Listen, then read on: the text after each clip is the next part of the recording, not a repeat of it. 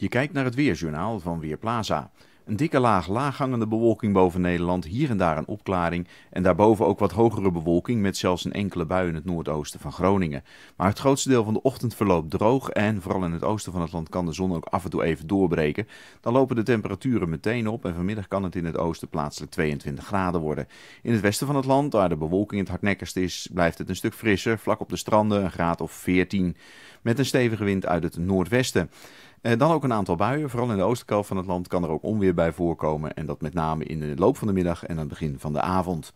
Dan wordt het daarna weer op de meeste plaatsen droog, maar morgen overdag kan er nog steeds wat lichte neerslag vallen, vooral in de oostelijke helft van het land. In het westen blijft het grotendeels droog, met laat op de dag misschien een opklaring. Temperaturen tussen de 14 en 18 graden, met nog altijd minimaal matige wind uit het noordwesten.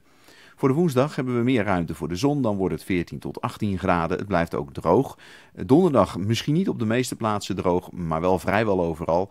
En de temperatuur dan weer in de buurt van de 20 graden. Opnieuw met wat zonneschijn. Vanaf vrijdag neemt de kans op buien toe en is het weer wat wisselvalliger. Ik ben Marco Verhoef van Weerplaza.nl.